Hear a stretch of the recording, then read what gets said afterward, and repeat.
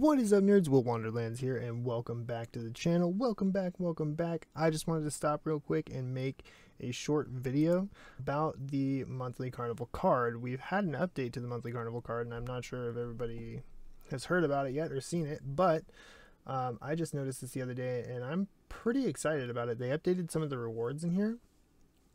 So uh, instead of the previous rewards, we're now getting the addition of a deluxe resource selection chest.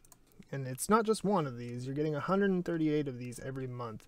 And these deluxe resource selection chests come with a pretty good set of rewards. I mean, you have essence sublimation in here, you have spiritual essence, we've got master's toolboxes, glorious relics, we've got crystals of transcendence, stellar shards, and gems. Now, personally, there's a few things that I wouldn't select in here but the fact that you have essence sublimation coming out of this, you have uh, stellar shards. I wouldn't go for the crystals of transcendence. There's never a reason to choose those over stellar shards if you have the option. You also have gems in here. I, I probably wouldn't choose the gems personally, but um, I suppose if you need them for like an event or something, you have a bunch of these stacked up. You could just open them all for gems and there you go. There's your event. You also get Master's Toolboxes out of this, 138 Master's Toolboxes, so that could come in handy. Um, and then Glorious Relics, I probably wouldn't mess with Glorious Relics either. It's just not really enough to make it all that worth it, unless you really need that artifact for some reason. But besides that, the rewards are really good. I mean, we're getting Stellar Shards just for completing monthly quests now. Like, let that sink into your brain for a second, or Essence Sublimation for that matter, um, or Master's Toolboxes. The cost of this is like ten bucks. It's it's insane. It's pretty good. It gives us a whole new reason to actually purchase this carnival card. And uh, really at this point it's like that would be the reason i purchased the carnival card. That and maybe the universal crystals that come in handy every once in a while. But that's not the only reward that's been updated. They have updated another reward in the fighters competition. That is uh, the elite hero shards that used to be here are now a luxury skin selection chest.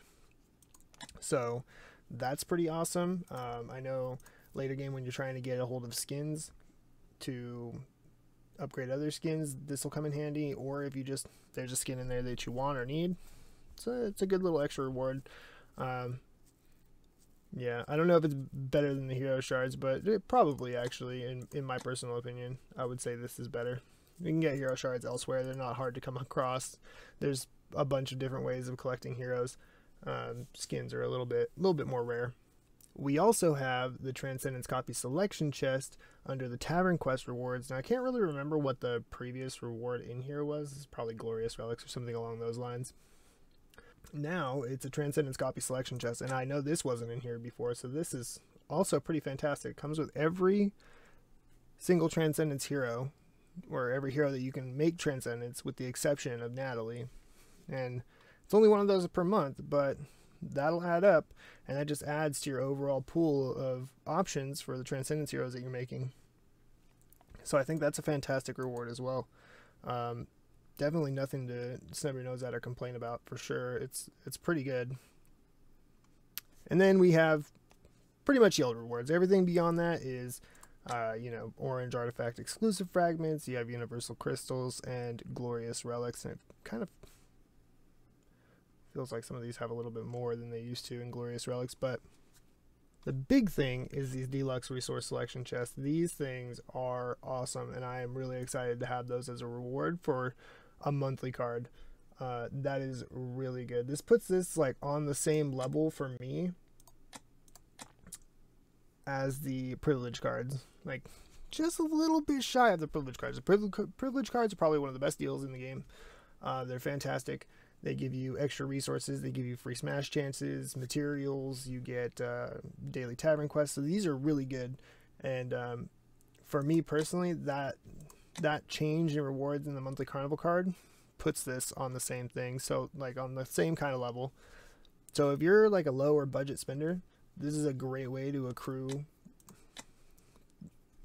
certain rewards that are pretty hard to get especially essence sublimation. I know those are pretty hard to get a hold of. You do get these things passively in campaign uh, later on. I think void campaign you start getting getting these and collecting them, but I mean just having another resource that's relatively cheap uh, to get a hold of these, it's really good. It's really good.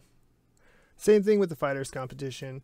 I mean, if you are participating in the Crystal Crown League, Trial of the Champion, whenever it's coming out, which I need to do actually, yeah, I better stop and do that.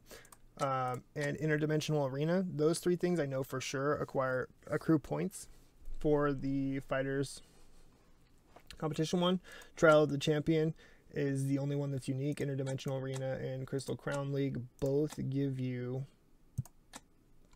points towards the uh, fighter points. So you can accrue those there.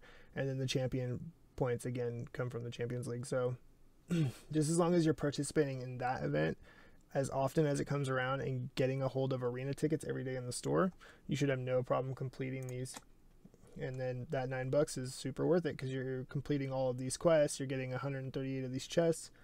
Um, you're getting a whole bunch of glorious relics. You're getting 200 of the universal crystals, a skin chest, a transcendence uh, copy selection chest. And I'm not even gonna bother with these because I feel like these are little lackluster. Uh, 20 of the orange artifact exclusive fragments, but everything else is great. I would definitely recommend this for somebody that's a lower budget spender. That's going to be all for me today, guys. I'm going to get the heck out of here. Hope you enjoyed the video. Leave me a comment in the comment section below letting me know how you feel about the update to the rewards on the monthly carnival card, and I will see you guys in the next one. Later, nerds!